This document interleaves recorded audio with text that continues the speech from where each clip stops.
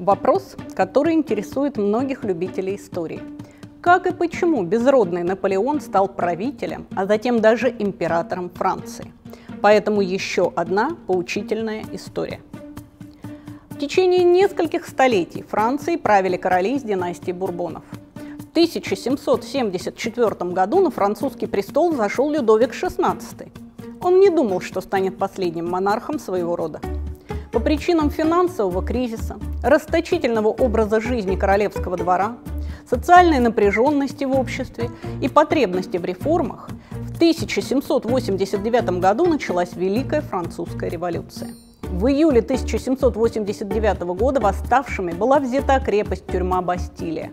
Спустя три года состоялись суд и казнь короля Людовика XVI. Во Франции установилась республика. На фоне именно этих событий в самом конце XVIII века Наполеон и пришел к власти. В то время он был лишь младшим лейтенантом французской армии, активным участником войн Французской республики с другими странами Европы. После успешной осады города Тулона Наполеон стал бригадным генералом. Именно тогда он впервые получил общественное признание и известность. Именно тогда и началось его, в общем-то, достаточно быстрое восхождение на вершину власти и перерождение из республиканца в монарха.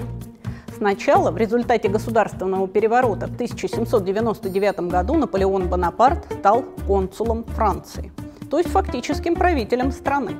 Однако его власть тогда еще пока была ограничена Конституцией, но амбиции уже было не остановить. Репрессивные меры против печати – введение цензуры, победа в войне с Австрией, расправа над оппозицией. И в 1804 году Наполеон принял титул императора и фактически возродил французскую монархию.